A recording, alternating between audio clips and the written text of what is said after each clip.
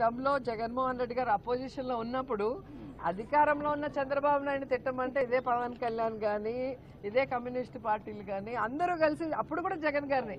అంటే అధికారంలో లేకపోయినా జగన్ గారి టార్గెట్ అధికారంలో ఉన్న జగన్మోహన్ రెడ్డి గారి టార్గెట్. ఎందుకంటే జగన్మోహన్ రెడ్డి గారు ఒక సింహం లాగా వీళ్ళెవ్వరూ కూడా ఆయన ఏమి చేయలేరు అనేది అర్థమైంది. అండ్ రాజశేఖర్ రెడ్డి గారు రెండు అడుగులు ముందుకు వేస్తే జగన్మోహన్ రెడ్డి గారు నాలుగు అడుగులు ముందుకు వేసి ఈరోజు డైరెక్ట్ బెనిఫిషియర్స్కి ఏం తను చేయాలనుకుంటున్నారో అది పార్టీ చూడట్లేదు కులం చూడట్లేదు మతం చూడకుండా డైరెక్ట్గా చేస్తున్నారు. దాంతో ప్రజలందరూ ఆయన్ని అభిమానిస్తున్నారు. ఈరోజు ఏ ఎన్నికొచ్చినా ఆయనకి అండగా నిలుస్తూ పట్టం కడుతున్నారు. సో ఇది చూసి పిచ్చెక్కిపోయింది. అన్ని పార్టీలకు కానీ అందరు నాయకులకి. సో వాళ్ళకి ఏం చేయాలో తెలియక కోడిగుడ్డు మీద ఈకలు పీకే విధంగా ఏ విధంగా వాళ్ళు చేస్తున్న కార్యక్రమాలు కానీ వాళ్ళు ఇస్తున్న స్టేట్మెంట్లు కానీ మనం చూస్తూ ఉన్నాం. సో ఈరోజు కేంద్ర ప్రభుత్వం నిర్ణయం తీసుకోవాలంటే అది జగన్మోహన్ రెడ్డి గారిని మాట్లాడతారు. అదే గతంలో మేము ధర్నాలు చేసినప్పుడు అపోజిషన్ ఉన్నప్పుడు ఒకరు కూడా రాలా. కానీ ఈ రోజు ప్రేమ ముంచుకొచ్చేసింది. అలాగే గతంలో జగన్మోహన్ రెడ్డి గారు ఎంపీలందరూ రాజీనామా చేసి మూకుమ్మడిగా కేంద్రం మీద మనం ఒత్తిడి తీసుకొస్తేనే మనకి ప్రత్యేక హోదా వస్తుందన్నప్పుడు ఆయన రాలేదు చంద్రబాబు నాయుడు. ఆ రోజు జగన్మోహన్ రెడ్డి గారు తన టర్మ్ జగన్మోహన్ రెడ్డి గారు అపోజిషన్లో ఉన్నప్పుడు అధికారంలో ఉన్న చంద్రబాబు నాయుడు తిట్టమంటే ఇదే పవన్ కళ్యాణ్ కానీ ఇదే కమ్యూనిస్ట్ పార్టీలు కానీ అందరూ కలిసి అప్పుడు కూడా జగన్ గారిని. అంటే అధికారంలో లేకపోయినా జగన్ గారి టార్గెట్ అధికారంలో ఉన్న జగన్మోహన్ రెడ్డి గారి టార్గెట్. ఎందుకంటే జగన్మోహన్ రెడ్డి గారు ఒక సింహం లాగా వీళ్ళెవ్వరూ కూడా ఆయన ఏమి చేయలేరు అనేది అర్థమైంది. అండ్ రాజశేఖర్ రెడ్డి గారు రెండు అడుగులు ముందుకు వేస్తే జగన్మోహన్ రెడ్డి గారు నాలుగు అడుగులు ముందుకు వేసి ఈరోజు డైరెక్ట్ బెనిఫిషియర్స్కి ఏం తను చేయాలనుకుంటున్నారో అది పార్టీ చూడట్లేదు కులం చూడట్లేదు మతం చూడకుండా డైరెక్ట్గా చేస్తున్నారు. దాంతో ప్రజలందరూ ఆయన్ని అభిమానిస్తున్నారు. ఈరోజు ఏ ఎన్నికొచ్చినా ఆయనకి అండగా నిలుస్తూ పట్టం కడుతున్నారు. సో ఇది చూసి పిచ్చెక్కిపోయింది. అన్ని పార్టీలకు కానీ అందరు నాయకులకి. సో వాళ్ళకి ఏం చేయాలో తెలియక కోడిగుడ్డు మీద ఈకలు పీకే విధంగా ఏ విధంగా వాళ్ళు చేస్తున్న కార్యక్రమాలు కానీ వాళ్ళు ఇస్తున్న స్టేట్మెంట్లు కానీ మనం చూస్తూ ఉన్నాం. సో ఈరోజు కేంద్ర ప్రభుత్వం నిర్ణయం తీసుకోవాలంటే అది జగన్మోహన్ రెడ్డి గారిని మాట్లాడతారు. అదే గతంలో మేము ధర్నాలు చేసినప్పుడు అపోజిషన్ ఉన్నప్పుడు ఒకరు కూడా రాలా. కానీ ఈరోజు సడన్గా ప్రేమ ముంచుకొచ్చేసింది.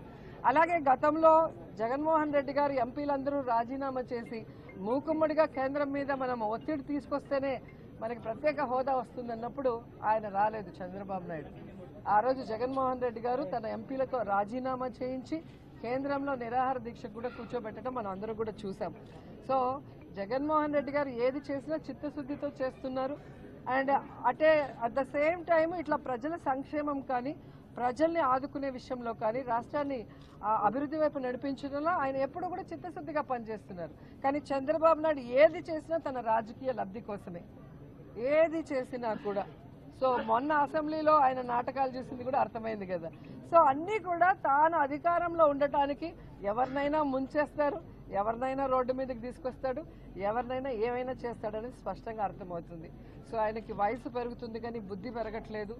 సో ఇప్పటికైనా ఆయన ఒక ప్రతిపక్ష నాయకుడిగా ఉంటే ప్రతిపక్ష నాయకుడిగా ప్రజలకు అండగా ఉండి నిజంగా ఏదైనా ప్రజలకు సమస్య ఉంటే దాని మీద పోరాడితే ఎవరైనా ఆయన గౌరవిస్తారు కానీ లేని వాటిని ఉన్నట్టు తన మీడియా ద్వారా చూపించి లబ్ధి పొందాలి అనుకుంటే ఈ మాత్రం గౌరవం కూడా భవిష్యత్తులో ఉండదు డిపాజిట్లు కూడా రావు. ఈరోజు ప్రజలు అలాగే వైఎస్ఆర్సీపీ కుటుంబ సభ్యులు అలాగే జర్నలిస్టులు అందరూ తెలుసుకోవాల్సిన విషయం ఈ ఓటీఎస్ వన్ టైం సెటిల్మెంట్ అనేది నిజంగా పేదవాడికి ఒక వరం లాంటిది. ఇది ఎక్కడా కూడా బలవంతంగా ఎవరి మీద రుద్దే పథకం కాదు. అది ఫస్ట్ ఆఫ్ ఆల్ తెలుసుకోవాలి. ఇష్టం ఉన్న వాళ్ళు చేసుకోవచ్చు లేని వాళ్ళు ఇలాంటి అవకాశం మళ్ళీ రాదు కాబట్టి భవిష్యత్తులో మీరు బాధపడ్డా కూడా మళ్ళీ చేసుకోలేరు. ఎప్పటి నుంచో ఉన్న ఇంట్లోకి ఇప్పుడు ఏంటి అని తెలుగుదేశం పార్టీ వాళ్ళు వితండవాదం మాట్లాడుతున్నారు. కానీ రిజిస్ట్రేషన్ చేసుకోవద్దని చెప్పట్లేదు. మేము వస్తే ఫ్రీగా చేస్తామంటున్నారు. అంటే రిజిస్ట్రేషన్ చేసుకోవడం ఎంత ముఖ్యమైన పనో వాళ్ళకు కూడా తెలుసు కాబట్టి చేసుకోవద్దంటున్నారు.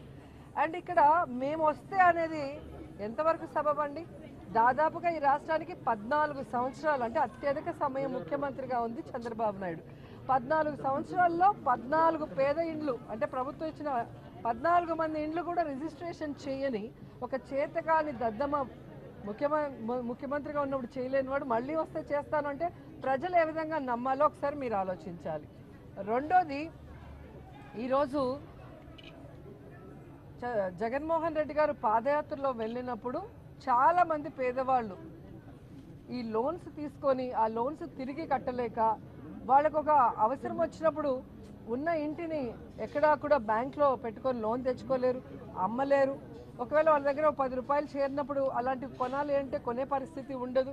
వాళ్ళ వారసులకు కూడా దాన్ని ట్రాన్స్ఫర్ చేసేదానికి అవకాశం లేని పరిస్థితుల్లో ఉంటే మరి జగన్మోహన్ రెడ్డి గారు దానికి ఒక మంచి ఒక పథకం లాగా జగనన్న సంపూర్ణ గృహ హక్కు పథకాన్ని తీసుకొచ్చి వన్ టైం సెటిల్మెంట్ అంటే పదివేలు కడితే రూరల్లో మున్సిపాలిటీలో పదహైదు వేలు కడితే అలాగే కార్పొరేషన్లో ఇరవై వేలు కడితే చాలు ఆ ఇంటికి మొత్తం రిజిస్టర్ చేసి బాండ్ పేపర్లు మీ చేతికి ఇస్తారు. మీకు తెలుసు ఏదైనా ఒక చిన్న ల్యాండ్ని అమ్మాలంటే లేదా కొనాలంటే రిజిస్ట్రేషన్ ఫీజు కానీ స్టాంప్ డ్యూటీ కానీ యూజర్ ఛార్జీలు కానీ లేదా ట్రాన్స్ఫర్ చేయాలంటే ట్రాన్స్ఫర్ ఛార్జెస్ ఎంత అవుతుందో ఒకసారి ఆలోచించండి. ఇవన్నీ పక్కన పెట్టి మీ అప్పునంతా కూడా ప్రభుత్వమే భరుస్తూ కేవలం రూరల్లో పదివేలకి మున్సిపాలిటీలో పదహైదు వేలకి కార్పొరేషన్లో ఇరవై వేలకి మీ ఇంటి హక్కుని పూర్తిగా మీకు ఇస్తూ మీరు తీసుకున్న లోన్ మాఫీ చేసి మీరు తనఖా పెట్టిన పేపర్స్ని కూడా మీకు ఇచ్చేసి